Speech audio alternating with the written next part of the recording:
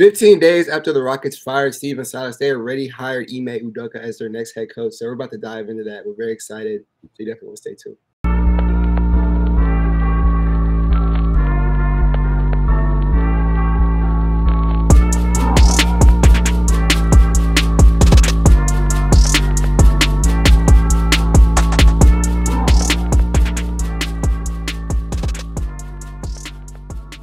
Right, and welcome back to another emergency episode of the Bradeaux and Will Show. I'm your first host, as always, Will. You can find me on Instagram and Twitter at Biased Houston. Uh, you definitely want to tap in over there because when news breaks like what happened today, we're always, you know, find up the space immediately to talk about it. Um, so if you miss out on that space, it's, it's on over there. Uh, you can tap in with us next time something uh, big happens with the Houston Rockets. But that's where you can find all that stuff at, and I'll pass off to Brad.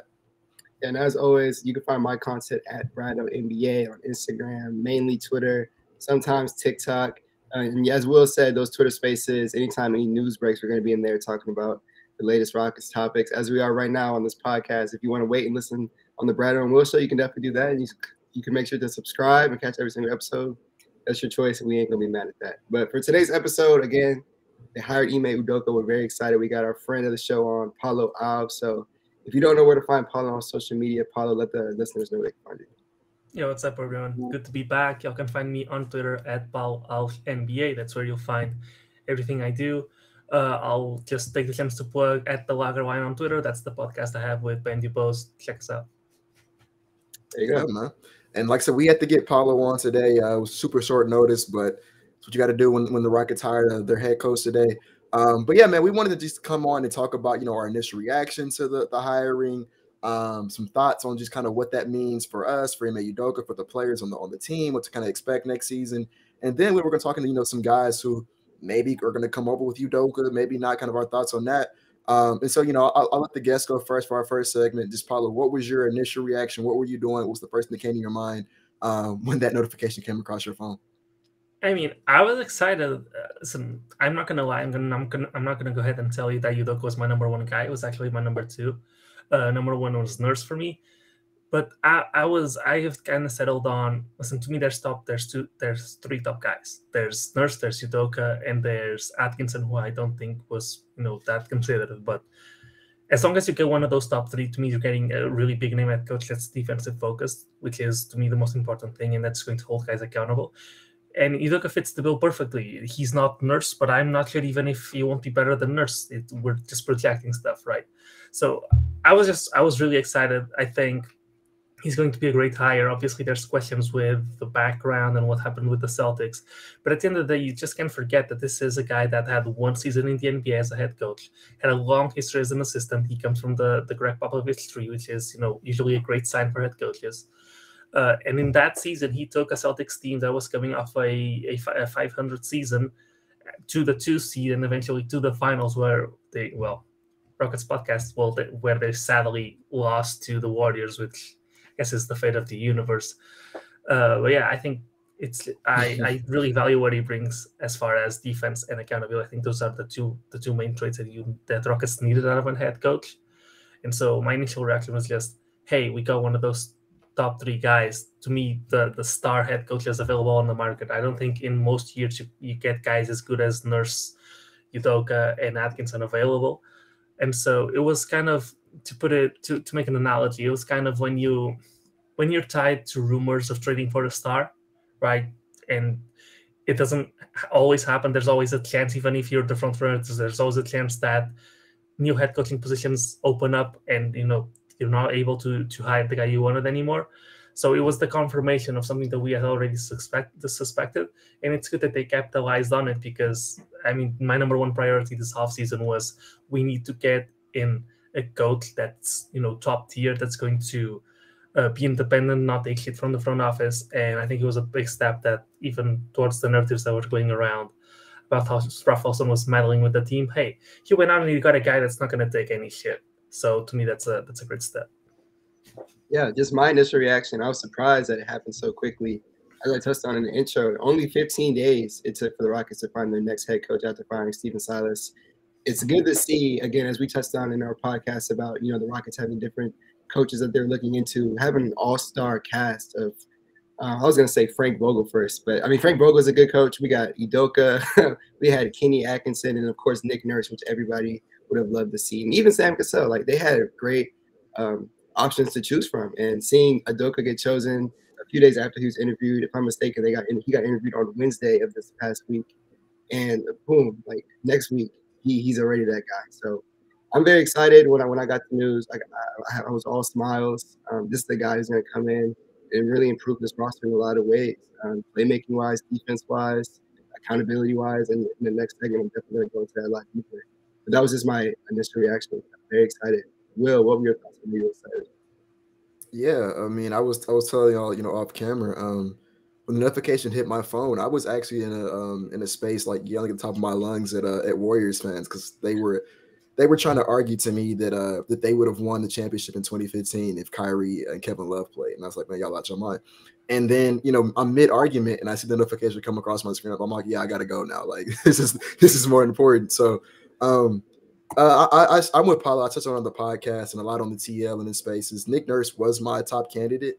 Um, that's probably my favorite coach in the NBA. Um, and so I was obviously like very ecstatic uh, when Toronto lost to Chicago in the play-in, and then they fired him uh, I think it was like late last week, and you know we were talking about you know maybe he was going to be the guy for the Houston Rockets. Um, but I did say like on the TL and in spaces and on the podcast that you know I had Udoka as my second choice, and this isn't like a oh man like no, I'm still like so, this is this is oh, this is still a, a, great hiring choice. This is still um you know a, a great step forward, and I think that um while Nick Nurse was my top candidate, I think there are some things that I'm gonna I'm gonna touch on later on the, in the podcast that like Udoka does that Nick Nurse does not, which, you know, if you look at through a different lens, you know, you'd say, well, maybe he makes more sense for this team than Nurse did anyways, you know?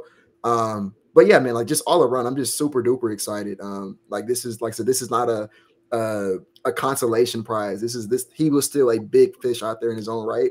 Um, and you know, it, it's crazy that the Houston Rockets, the story, the narrative behind the Houston Rockets all year was that we were a, a dumpster, we were dysfunctional, that no one would want to come here, no one want to coach here. You know, we were we were a problem, the worst place in the NBA. Um, and you look at it, and like like Brad touched on, all the guys we were linked to this summer for this summer, this offseason um, for head coaches, those were like the top guys. Like like we we had some of the best coaches available. Like you could argue Udoka was the best coach available um, on the market right now. He was someone who was uh, sought after um, by Brooklyn and Toronto before, you know, ultimately deciding here in Houston. We're to touch on that a little bit later in the podcast too. Um, but just to, to walk away with like such a highly touted coach, um, I mean, you know, after everything that we went through this season, and you know, despite all the the dysfunctional, this guy still chose us. Um, I have nothing but like excitement. I mean, like I I, I have my my joy back. I'm, I'm excited for Houston Rockets basketball again. So uh, that that was just my initial reaction. I think I think we all kind of gave our our reactions to that. Like I said, I want to kind of now dive into like the the nitty gritty, like the the ins and outs of what we were actually, you know, what Udoka means for Houston, and you know all that stuff. So I have a bunch of stuff I'm going to talk on. Um, I'm gonna let Paulo go first. I'll get let you go, Brad. Then, like I said, I'm I have a bunch I got to talk about with Udoka. Yeah, man. As, as far as Udoka goes, I think um, just to justify a little bit, I think versus Nurse, I think there's also things that, as you said, favor Udoka over Nurse. I think Udoka has a more a more grading personality. He's going to, you know, have rougher relationships all around the team. Versus Udoka was more of a guy who is going to look like he's on your side, but he's also going to hold you accountable, and he's going to be like I don't know. I'm not going to say a father figure because these guys are all are all you know 20 something years old, but that that sort of that sort of thing.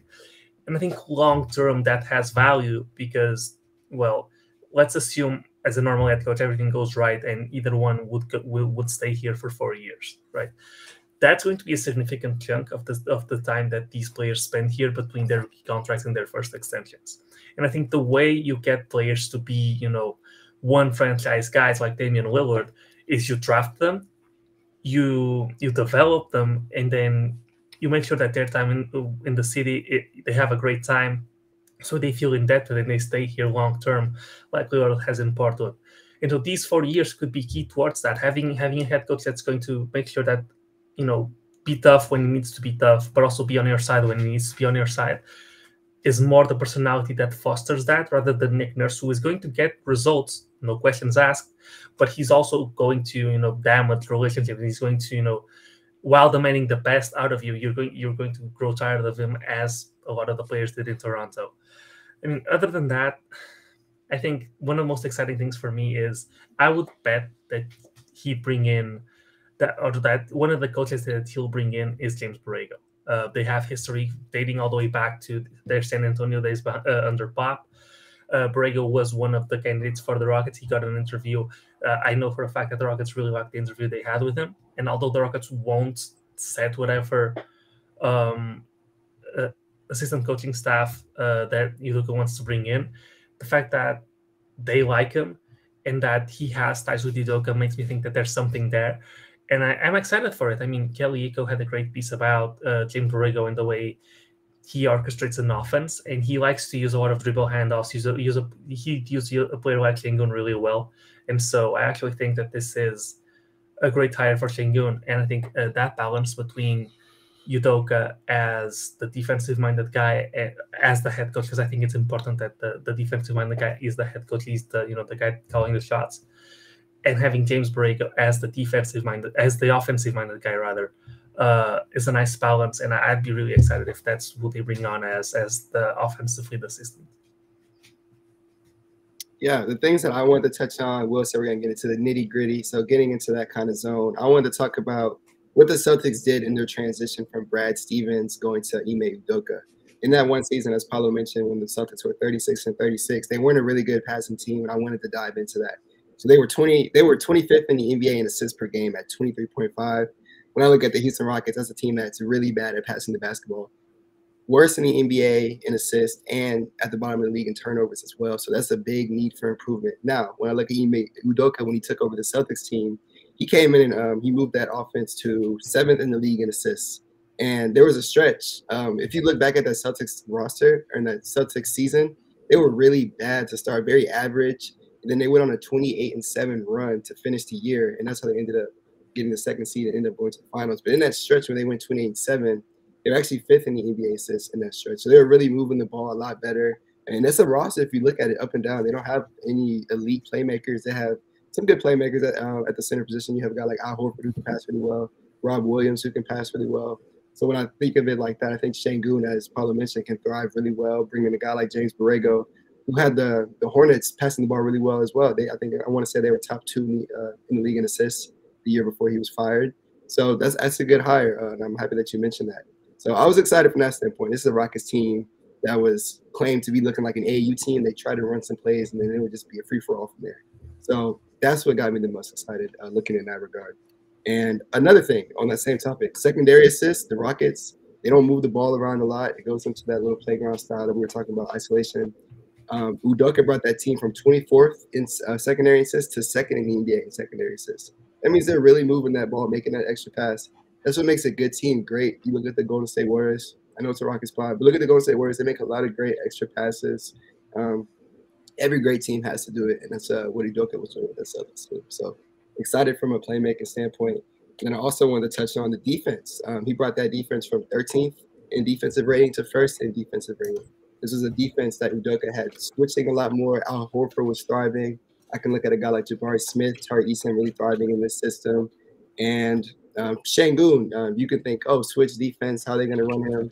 Uh, if you know who Alykhan Bijani is on Twitter, he pointed out, and I was going to talk about in this podcast, he had Robert Williams, probably their worst perimeter defender in that starting lineup. He was guarding the worst perimeter um, player on the other team, so I'm assuming Sengun will probably do the same thing under Udoka if he's going to be on the team next year, and hopefully he will be.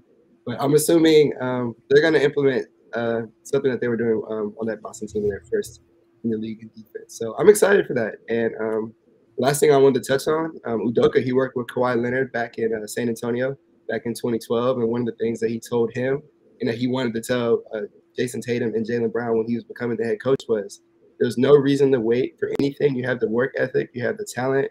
Go out there and be a vocal leader, and go out there and get it every single day. And that's something that I'm assuming he's going to tell Jalen Green, he's going to tell Jabari Smith, He's going to tell this Rockets young core, and I'm just excited to see where he can take them. Uh, as Paulo mentioned, the accountability is going to be a lot better. And as I mentioned right now, I think the uh, assists per game is going to go up. The ball movement is going to be a lot better. The defense should be a lot tighter. So that's why I wanted to touch on those three things. I'm gonna go ahead and institute a, a, no more Warriors talk on this this show. Like uh, that's that's not twice that y'all have mentioned Golden State on my podcast, but um, uh, but not. uh, but no, I want to uh, start by I think Paulo touched on it. Like I said, I got a lot I want to touch on. Um, but Paulo talked about it. Um, one, this guy is someone who comes from the Gregg Popovich tree. Um, and we know how those guys do in the NBA. That's that's usually a good sign that like you know, I mean, because Gregg Popovich is arguably the greatest coach of all time. Um, and so anybody who's able to spend as much time as he did, take as much, you know, much from Gregg Popovich and implement that into his own, um, you know, style as, as a coach. And like obviously he got Gregg Popovich, Popovich's blessing um, as a head coach. Like to me, that means a lot because we know who Gregg Popovich is, what he means to basketball. Like said, the guy's arguably the greatest head coach of all time. So just that pedigree alone means a lot to me. But then he also came from the, you know, from Brad Stevens, you know, coming from from learning from that guy, right? Who was a great head coach in his own right for those um those you know 2010 Boston Celtics teams that saw routine success throughout that whole decade. Um, you know, and so you know, being able to learn from two of the best coaches, you know, one of all time and one from the last decade, um, being able to take what he's learned from those two guys and bring it to the table as a head coach, I think that's really really cool. Um, and something that I'm going to be looking forward to as, as his time as our head coach. Um, but the first thing that I did when we hired Udoka um, while everybody's kind of getting their thoughts off in the space, I started like researching, um, you know, kind of just who he is, what his coaching style is, what people have to say about him. Um, and one of the things that I kept seeing, you know, from article to article, you know, just I was looking at different quotes from from players or um, from people who you know worked in the San Antonio Spurs organization or from the Celtics organization, just anybody who'd been around um, uh, Ime Udoka. One of the consistent things that I was hearing is that he's the kind of coach who's going to be he's going to be a player's coach for sure. Like he's going to have your players back. Your players are going to respect him. Um, they're going to they're going to like playing for him. You know, he's going to be the type of guy who, um, especially like I think towards a, a young team like us, um, they may not need to to to have that like super duper uh, tough love kind of say. Like they might they might you know respond better to something more on the lines of like someone who can relate to them. Um, but at the same time, even though he's going to be a player's coach and relate to the to the players, he's not going to be a pushover, right? Like he's not going to let you walk over him. He's not going to let you, you know, this isn't going to be a well, we're going to decide what we want to do today, and you're just the coach, just figure it out on your own. Like, no, it's it's his team. He's gonna he's he's gonna he's gonna lay down the law essentially. Um, and, and so to me, that was like that was really cool to hear because that kind of reminds me of uh, maybe maybe a bad analogy or bad comparison, but I look at like what Stephen Silas did as the head coach of the Houston Rockets, and I don't think Stephen Silas was the, was the guy for this team. I think you know letting him go this offseason was the right decision to make. Um, but the one thing is someone who who was out on Stephen Silas as the head coach for, for pretty much the majority of last season. Um, the one thing that I will never take away from Stephen Silas is I think that he did a really really good job of connecting with the players. Right, like I like I've said all the time, if we could have kept Stephen Silas as like a player development coach, I would have loved it because I think that he's really good at at, at relating to the guys and and getting to know them personally. Um, you know, evidence, you know, by how the guy, you know, he teared up when KPJ got a contract extension, and that wasn't, you know, that was that was real. Like that was that was really emotion um, that he had experienced, you know, for I think through genuine love he has for KPJ. Um, and then you look at a guy like Nick Nurse, who one of the things that Raptors fans was kind of telling us about him is that he's kind of not that guy. He's more of like a, you know, come in, do your work, go home kind of guy, right? And so I think that you know, even though I was I was team Nick Nurse, I think that one thing that's you know Udoka has working for him is he seems to be kind of like that balance between the two styles of coaching, where like I think he can be the player's coach who you know you you you love and you you know you you like talking to and making fun of, you know, hanging out with stuff like that. But at the same time, like you're not gonna walk over him. He's gonna have that same sternness that like a Nick Nurse would have. So I, I think that was really cool. Um, then another thing, obviously, accountability was like the biggest thing that we as um as Rockets fans were asking for uh, last season, and actually just last season, just in general under the Stephen Silas um, era. And like once again, I think Paul on it. Like that's that's who Udoka is. We're not going to have no more of those accountability issues at all. You know, with Udoka, that's that's not happening no more. You know, guys are going to be held responsible for their actions on and off the court. Um, and I'm like I I'm also looking forward to like what that means on the court. I'm tired of watching guys go out there and not try and you know give half effort. Um, you know, I, am tired of that. Like I'm, I'm I'm glad that we're gonna have someone who kind of like I don't, for lack of a better term, like lays down the law, um, and you know doesn't let that stuff happen anymore. Um, Brad touched on it, right? Um, he, the Celtics started that season 17 and 19, two games under 500, and then went to the finals. They finished that season on a 28 and 7 run. and they went to the. Like, I don't think people understand how crazy that is to start. You know, almost half the season you're under 500, and then you go all the way. It was, it was the second seed, right, Brad? That's, that's where they finished last. Yeah, go all the way to the second seed, and then go to the finals. And it wasn't like they just lucked into that. No, the Celtics were legit um, when they when they made that switch. They were they were a legit team. They played some tough teams in the playoffs. Uh, they swept the KD, Kyrie, Brooklyn Nets. Um, they you know they had that really tough battle with the with the Miami Heat in the conference finals. And even though like they did fall short um in the finals, like they showed a lot of resilience and like for how young that team was. They I think you know everybody was kind of impressed with how they performed on that stage. There was obviously room for improvement, but like you know just how they handled last season considering where they started. I mean like that's that's incredible to me, man. And and that shows to me um he has he has the ability to command a locker room because anybody can't do that, bro. Like you know, just just speaking from like a morale standpoint, like we were, you know, we, we know what I mean, we're the Houston Rockets. We know what losing does to the mentality of the players in the locker room, right? And especially a team like for us, it's a little different because like we knew we were going to lose, but the Celtics were a team that had expectations to compete for a championship. So can you imagine like how deflating it is to be in that locker room knowing that like you're supposed to be winning a championship this year and you're two games under 500? and he was able to find a way to, to not only like keep that locker room together, but they came out of that a lot better than they went into it. And like like, like I said, that tells me he knows how to command a locker room. He knows how to galvanize the troops. Um, and that's something that we have been like sorely missing. Like I think I don't even know if Mike D'Antoni could do that, man. Like, and that was that was our that was the guy we had, um, you know, for the last the last decade as well. So that was really cool to me. Um, and then I want to just touch on like the players. Um, uh, I think I, I won't even touch on on Sengun and and and, and um, Sengun because I think y'all touched on that really well. Um, but like one of the things I think helped Jayson Tatum kind of elevate into that next tier of superstar was the the playmaking leap that he took under uh, Ime Udoka, right? Like you look at kind of how he was making those reads against that Miami Heat defense in the conference finals last year. Um, like that was something that Ime Udoka kind of helped implement and kind of helped coach uh, Jayson Tatum up to do. And I've been saying, I said in the space, I've been saying for a while now that like I think what's going to separate uh, Jalen Green from his peers and like what's going to elevate him to like that top tier status of stars or superstardom is his ability to be the complete deal offensively, right? And so if he can take that leap from a playmaking standpoint, I mean, I I, I think that guy is a surefire superstar But what he's going to bring from a scoring standpoint. So um, I'm really excited to see what Brad, what Ime Udoka does with with Jalen Green on that department. Um, and then like Jabari Smith and Tari Eason, just the two defensive wings, like uh, Ime's calling card is on the defensive end, anyways. Um, and so just seeing what he's going to do with those two guys, and and you know those are those are guys. So we, we all believe in their defensive ability. So seeing what you know a defensive minded coach like Udoka that with that pedigree, what he's going to bring to the table for those two guys, I'm really really excited for that.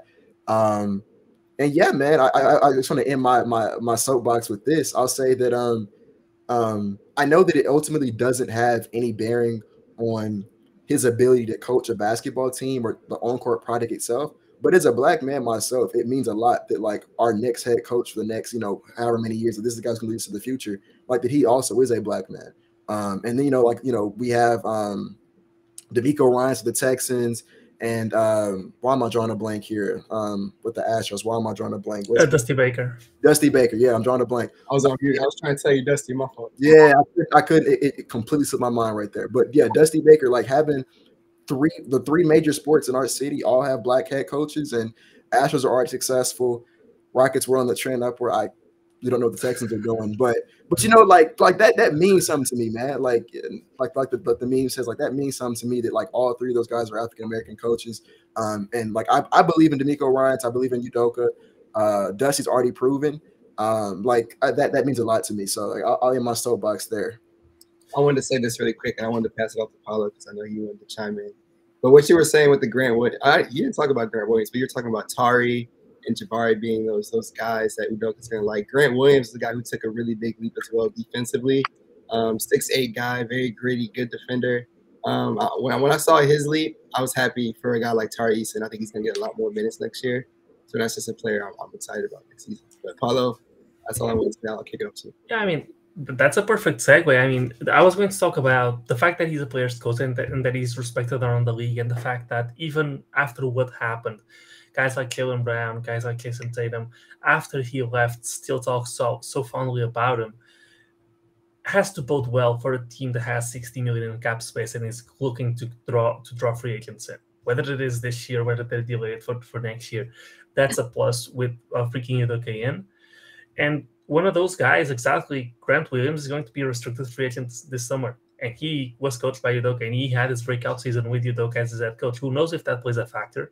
The Celtics are a team, you know, we know how the new CBA is, is really punishing teams that are over the second apron. I'm I don't have the math in front of me, but I I would guess that the Celtics, knowing that have Brogdon, Smart, Brown, uh, Horford, Rob Will, Tatum, like that can't be cheap. They must be close to it. I wonder how much they can afford to pay Grant Williams or how much they would match. Because although we have a lot of defensive wings, I mean, he's good. So you, you want to add good players. So uh, who knows? Maybe that's an option. Just want to touch on that free agency side. And then when it comes to being a, a player, not, not a player, a player's coach, if we look at the four options that we had, or the, the, the top four options, which were uh, Udoka, Vogel, Nurse, and Atkinson, if you were looking at those four names, if I had to pick one that to be the one that's going to tell Kevin Porter Jr. that he likely has to come off the bench this season and have him embrace that role and to me reach his full potential because I'm a KPJ fan. I want him to succeed here because I think he's a tremendous story. I think Udoka is the best. You couldn't pick a better guy to, you know, that, take that step and, and, and hopefully guide KPJ through that uh, adaptation. And especially if someone like James Harden comes in, I think that's another big plus. And the last thing I'd, I'd like to touch on is I think I, I, I'd, I'd like to really reiterate how good this is for Alperen Sengun. Because, I mean, if you get Wemby, um, and if you get Wemby, now you can that you can run Wemby as the in the role that Robert Williams was playing, and you can have Sengun try to emulate what Al Horford what Al Horford was doing. Um, and I think ultimately, if Sengun is to be uh, a good, a good or a, a, passable defender in the NBA, Al Horford is someone who he should look to emulate. And if Udoka is used to uh, or has ran that defense in the past, I mean, if you go back and look, and I, I had a pod, we had a pod with with the guy that covers the Celtics for for for um, USA Today. What he said was that that turnaround in January, where they were two games below 500, and then they they went on a streak until till the end of the season. The change that they made, the change that they made that led to that was running Robert Williams as that in that free safety role, and and having uh, Al Horford on the weakest defender or the weakest perimeter uh, perimeter offensive player and have him use his IQ because I think Sengun is a, is a smart player. He just doesn't have the best tools, and he could be you know compared to what Al Horford is nowadays, not prime Al Horford, but what he is nowadays. I mean, the guy that doesn't have a lot of the athleticism, but he's just really smart in the way that he plays defense. So, and besides that, um, another nugget. It was reported also by uh, by Celtics Wire that the, the Celtics had the Rockets not traded up for Sengun. Celtics were one of the teams that had mm-hmm. high on and wanted to draft Sengun to pair him up with Robert Williams. So you know, Sengun being would be the Al, what Al Horford is today for the Celtics, and so that comparison in terms of how you run the both of them, it even bodes well for who knows if it's not Wemby, even if it's Jabari, or if they bring in more of a rim running center to play next to Sengun, it bodes well for for Sengun's future with the team, which I was not that optimistic about, but I think with Udoka and the fact that not only on on defense, like I just explained, but on offense uh, the Celtics tried a lot of dribble handoff stuff. They they didn't have a true point guard, and so they had to, in order to get Jayson Tatum and Jaylen Brown advantages that they could capitalize on. Which, by the way, they're fairly comparable to Jalen Green and Jabari Smith, although the skill levels are obviously different because they're two All Stars. Who knows what Jabari and, and, and Jalen will be? You know, uh, there's a lot of overlap, although, although it's not exact matches to what the Celtics have. It's mostly worse defensively, but kind of similar offensively matches. Uh, there's a lot of there's a lot of, of things that connect this Rocket score and what they project to be with what you look had with the Celtics. Yeah, last thing I wanted to touch on, and I'm happy that you talked about Grant Williams being a potential restricted free agent guy. I wanted to add that this was a team, and if I'm not mistaken, yeah, Paulo, I was gonna ask you what happened with your light situation. I was gonna say, I don't know what happened, dude. I should have said so. That was too funny. I was gonna say though with Grant Williams, I want to say the Rockets were rumored to be talking to them about Jae'Sean Tate around that trade deadline, so they wanted to get a cheaper salary. So Grant Williams could be an option there. That's a guy again, really good defender, can shoot the three ball really well. That would be interesting um, if the Rockets go out and get him. I really just wanted wanted to right now talk about some potential free agent guys that would fit well with this coach. And I've talked about it before, but even now I want to talk about it. Patrick Beverley, I think is a guy that would fit really uh, really well with this coach. Uh, Marcus Smart last season won Defensive Player of the Year under Coach Udoka. And Patrick Beverley is a pest. He, he loves running around, being pesky, a switch defense. Um, you can think about Patrick Beverley playing against Kevin Durant in the uh, first round of the playoffs when he was on the Clippers, really embracing a matchup like that. Obviously, he, he probably didn't succeed to the best of his abilities, but he's willing to take on that challenge and he'd be, be able to take on any challenge. I'd love to have a guy like that off the bench for the Houston Rockets. But that's the last thing I wanted to say. I'm excited to see what they do in the free agency. Um, first and foremost, we're gonna have to see what happens on May 16th. That's the day everybody's waiting for because they get Wemby, Scoot. Um, I mean, there's a variety of ways, or variety of players they get. So I'm curious to see how that how that draft turns out. So or lottery, I should say. But that's the last thing I want to touch on. Uh, at this, um, I know a lot of people were hoping because uh, I think I think Paulo touched on it. Uh, Jaylen Brown uh, spoke very highly of of Brad. I'm not of Brad Stevens. I keep saying Brad Stevens of Ime Udoka um, and and like that was somebody he really really liked playing for. As a matter of fact, I think Jayson Tatum said like that was the best coach he's ever played for. So that, that's worth some. Like, I, if you're ever played, he played for Coach K as well, which leaves a, very good impression on most most guys that go through yeah. Duke.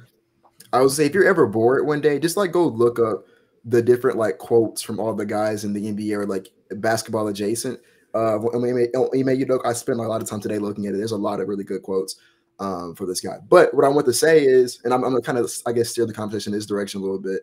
Um, I know that like we were some of the people, I know at least me and Brad were like very on board with Jaylen Brown to Houston, and that that was one thing that's kind of like gonna be circling out there with, you know, who knows what happens with him this summer. Um, I, although I think he's gonna make all NBA team to get a super max, and I don't think he's going anywhere when that happens. But like, let's just speak hypotheticals here because that's that's what we do on, on Rockets Twitter. Um, like that was something that's, that's, kind of rumored out there that like you know if Udoka comes, he might try to bring Jaylen Brown with him. Those are two guys who like each other. Jaylen Brown may not be too happy with his role in Boston or whatnot. Like you know there was a bunch of rumors about him being unhappy, and and Bill Simmons like explicitly said he you know he thinks he wants to come to Houston. Um, and and here, here's here's my thing, man. Like I, I talked about it in spaces a little bit on the TL. I think I talked about it on the pod just yet, but I would love Jaylen Brown in Houston. Let me let me start there. Like if if I could just drop a guy in a vacuum on this team, like obviously I'd love Jaylen Brown. I think um, he would. You know, I, I disagree with people who say that like him and Jalen Green are redundant. I think I think that you know you can have a redundancy in strengths, and I, I think that that's that's fine. Like I, I, have no problem with my shooting guard small forward tandem, then Jalen Green and Jaylen Brown. Like that's not the problem to me. The problem to me is the when uh, we will be trading for Jaylen Brown, right? Because I think that he's going to cost a lot. Like Boston does not want to lose that guy, and in any scenario where they're trading him, they're probably going to, you know, probably going to be a third team involved where we send our young pieces and, and draft capital to a third team that sends um sends Boston a star, and then they send Jaylen Brown. That's like I've seen like Bradley Beal or like Damian Lillard is it like a third team that can kind of go to Boston, kind of be floated out there, and then like Jaylen Brown comes to Houston, and then our, our young guys go to like Portland or Washington, something like that, so like they can hit the rebuild. And my thing is, is like in terms of value, I think that's fair value for Jaylen Brown because he's probably going to cost us like some combination of Tari, Sengun, and like three or four for a draft picks, which, like I said, in, in a vacuum, like that's that's what Jaylen Brown's worth. So I'm not even mad at the value. I just think that it's way too soon to, to making a, a trade of that magnitude this offseason. Um, because I just I just don't think I don't think there's any historical precedent um, uh, of of of a team this like like we're obviously we're trying to we're kind of bring the rebuild to a kind of a close here, but like we're not close to winning a championship, man. Like we won 22 games this year, and we won 20 the year before that. Like we're not we're not anywhere close. We need to worry about making the like the play-in tournament, let alone winning a championship. Um, and I think every time a team makes like all-in moves like that before they're ready, I think it always backfires. Like I I, I think that there's there's not many historical precedents of that ever like ending well for the team that went like it, it it sometimes doesn't even work for the team that goes all in, right? Like the Nets um, with KD, Kyrie, and, and, James Harden probably regret doing that now that like it's all blown up in their faces and they're having to to navigate this rebuild with the worst contract in the NBA and you know none of their none of their own draft picks, right? Um, and so I just think that like I, I think that was a, a necessary risk to take if you're if you're Brooklyn because if you compare Kevin Durant, Kyrie Irving, and James Harden together, you got to do it every time. You know, like you would do that again today if you could. But like the Houston Rockets, where we're so far away from contention, I just think that there's a world where it ends up really well, but it's also a world where it ends up really, really bad. And I don't think it, I don't think that we should take that risk this this soon. Like maybe let's let's let's keep building and turning, let's keep developing, let's keep you know making smart moves, smart signing, smart trades. Um, and then like when like I think what the Cavaliers did with Donovan Mitchell, I think that's like a, a even though that's they're about to maybe lose this series, but I, I, think that that was a really good trade for them because you already had Darius Garland, Jarrett Allen, who were all-star caliber guys or you know really good NBA players. Evan Mobley is someone who I know it's like it's like a, a, a bad word on Rockets Twitter, but he you know he's he's shows a lot of potential, a lot of a lot of promise um, as a young player. Like people believe a lot in that guy. When you have a foundation like that on, on top of like a, just a veteran roster in general, they probably would have won 50 games last season if um if uh Allen didn't get hurt, right? When you have a, a, solid foundation like that, yeah, I'm, I'm all in for you know trading for a, Donovan Mitchell or a Jaylen Brown or whoever. But I think when you're so far away from that, I I just I don't know. That's just my opinion. I think it would be a bad decision to do that this offseason. Yeah, I think there's to your point. I think there's a lot of weaknesses that our players are going to have when when they actually that we're only going to find out that they have when they start to play meaningful basketball.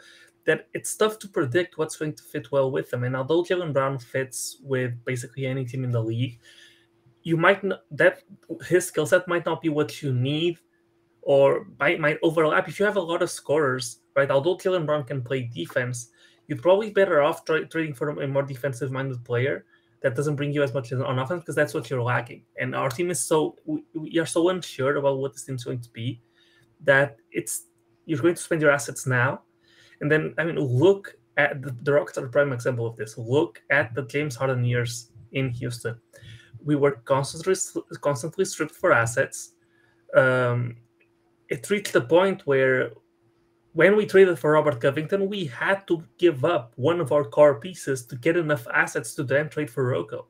And so if you if you don't have an idea of what the missing piece is, and, a, lot of, a lot of the time it's just a role player, don't spend your assets in a way that you're not going to be able to make that move when the time comes. Um, a lot of people think that we have a lot of picks, but that's just not true. We, I mean, now that we have one extra pick in this draft, and then after that, we have just a normal amount of picks that a team has, one per year. So it's not like we have this huge surplus of picks. A lot of those we already picked. We had three picks, two drafts in a row. We have we have two picks this year, and so that surplus is gone. We have young players, and if and, and if the Celtics took an offer that was based around mostly young players, if they valued Garuba, Josh Christopher, Ty Ty Washington, guys like that, uh, a lot higher than market value, then maybe. But if you're going to spend picks, which is the, the more liquid currency of the NBA, it's tough to sell you on that move, especially because if it doesn't work out, it's not like you can trade the rest of the pieces and build around Jaylen Brown because he's not a number he's not a number one on a championship contender. If you were, then it's kind of a no-brainer to trade for him, but he's not. And so I mean maybe he is, but I don't think it's likely. Um, and so it's tough because you could be stuck in a situation where you traded for Jaylen Brown and you're in a situation kind of like what the Atlanta Hawks are right now, yep. where you ha- you have a young roster, you made your win now move. Now what? They don't work out. Now what? You don't have the picks. I mean, they're floating, trading Trae Young. Is, is that what we want? Is that like a year or two years from now? Doesn't work out, and we're floating trading Jalen Green because that's one of the only pieces we have right now that ha- that has real value that we can flip for a star. Just it doesn't really make sense when you can wait a little bit longer and we're when we're further away along the process we can do that especially because a lot it's not like we're desperate for improvement right now although we don't have our pick next year you could probably project significant improvement or as much improvement as you as you as you would get because you're not going to go from a 20 win team to a 40 win team you're going to get a lot of improvement just by young guys getting better just by virtue of having a, a I mean, just a head coach from a completely different universe they're not comparable. You can't compare Stephen Silas to Ime Udoka. It's just like the worst coach I've ever seen versus one of the best in, in recent years. So you're gonna get a lot of a lot of improvement from that. You're gonna have another top draft pick. Who knows where it will land, but that that might not come as improvement for, from wins. That's more talent to add on to the roster. You have 60 million in cap space. You're going to improve plenty this season. It's perfectly fine to wait one more year before actually spending assets. And the different and one the last thing I want to say about it, the difference between trading for Jaylen Brown and that being called rushing and trading for Jalen of or, or signing James Harden, which a lot of people call rushing. The There's no difference is, assets. yeah, you're not giving up picks for James Harden, giving up the cap space. But nowadays, nobody hits free agency anyway. I mean, go check who's free agent this year. Go check who's a free agent next year. The only attractive guys are restricted, and their teams could match, and it's so it's a whole different, tougher situation to deal with. The only reason why James Harden makes sense as a you know, kind of a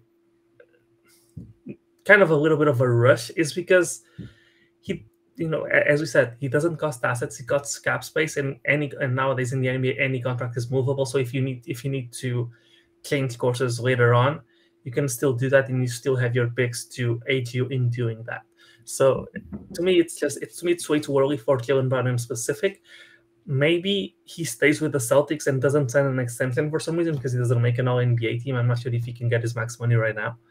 Um, and maybe we're readdressing this next year, and next year we take that extra step. Next year we are where the Cleveland Cavaliers were at the beginning of this year when they traded for Donovan Mitchell, and at that point maybe it makes sense. Right now, I just think it's way too early. Yeah, when it when it comes to that topic, Jaylen Brown, you know, with Houston Rockets, it does sound very enticing. You know, we're just going off of three seasons with them being extremely bad. So obviously, you, you hear a name like Jaylen Brown, you, you say, "Oh, I would love for that to happen," but you really do have to wait. You guys make a lot of great points. Um, personally, um, when I look at it, if they do bring in James Harden and say they do get Victor Wembanyama, I would have to see what the price would be to get a guy like Jaylen Brown. It would have to be one of those jackpot kind of situations in my eyes. I don't want them to force anything. Say they get like the fifth or sixth pick, pick in the draft and they get desperate and now they're in a situation where say, oh no, we need to we need to you know compete, compete, compete, get a guy like Jaylen Brown and lose a bunch of assets. I don't want to do something like that. Um, for me though, I'm more of a okay, if this is a jackpot, then that's something I can see. But still, in that regard, I'd, I'd like to see the cost. It is not something I would force. Uh, I'm cool with waiting because these Brooklyn Nets pick could be they could be extremely valuable. Um, this Nets team, I don't know how good they're going to be in the future. It might suck next year. Um, it'd be okay to wait. There's nothing to force. Um, we saw the Boston Celtics; they were able to get Jayson Tatum and Jaylen Brown from the Brooklyn Nets back in the day, just from being patient and waiting. Um, that's something the Rockets could do as well. But also, um, end of this pod, I wanted to say um, Jimmy Butler is, going crazy. I don't know if y'all saw, but, but go ahead. Yeah. No, I, I want to add one thing. I'll talk about Jimmy Butler. Um, I was gonna say you could talk me into like if our pick falls out to the top two, I, would be fine. If like my problem is the is the players, honestly, man. Like I, I can be talking to trading, you know, pick three on down and all the remaining Brooklyn Nets picks for J, for Jaylen Brown. Like I, I, can get behind that. But when we start talking about trading Sengun and Tari Eason and then picks on top of that, ah man, it's just like I feel like that's a bad idea. And like I honestly I know that like there's no way we get the trade done unless you include those assets. Um, and so it's just like, yeah, man, I, I think it's I think it's just too soon. Um, I think that the, the right course of action for the Rockets this offseason, stay the course.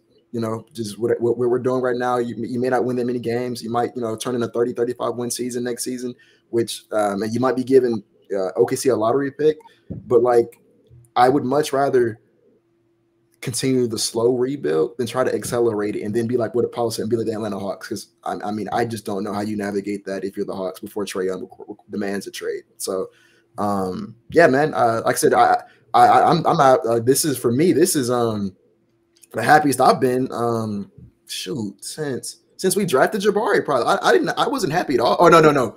No, this is the happiest I've been since KPJ got extended. I, I, I, can confidently say it's the happiest I've been since KPJ got extended. I was not happy at all last season. Um, and so yeah, man, like I'm excited for Rockets basketball again. Like I feel like we're finally a real basketball team. Um, it says a lot that this guy chose us over Toronto or you know all the other jobs out there. Um, and you know, like I, I I believe in Stone. honestly, I do. I know that's like a controversial take at this point, but I believe in Stone. Um, and you know, I, I, think he can solidify that trust I have in him with this offseason, which I mean, if if our ability to bring in Udoka tells us anything, I think we're in for we're in for a treat this this summer. So that's all I gotta say. Jimmy Butler is him, should have been a Houston Rocket, uh, was that four years ago? Yeah. Um, but yeah, man, I'm I'm out, man. Was it Thibs that that vetoed the trade? It was Thibs, man. He was tripping. Terrible. He turned he turned down the Russell Westbrook package for like Robert Covington, Dario Saric. I think I think it was like a second round pick. Like it was a terrible decision that he made. Like, but whatever, man. Um, That's it. I'm I'm out. Would you got anything else, Brad? Paulo, anything? Only thing I gotta say is I gotta thank Paulo for coming on the show as always. That was his third appearance. So as always, make sure to tap in with Paulo on social media. So Paulo again, let them know find you. Yeah, I appreciate y'all having me on. It's always, it's always fun to, to record with you guys. Y'all can find me on Twitter at Paulo Alves NBA. That's P A U L O A L V E S NBA. Everything I do from podcasts like this one to you know just general Twitter foolery you you can find on there. Sounds good. Um, guys, again, we're uploading our off season. If you like what you're hearing, make sure to subscribe, uh, like the video, comment, do all that good stuff. But we appreciate y'all for listening, and we'll catch you guys this Sunday or Monday, I should say. So we'll catch you guys on Monday.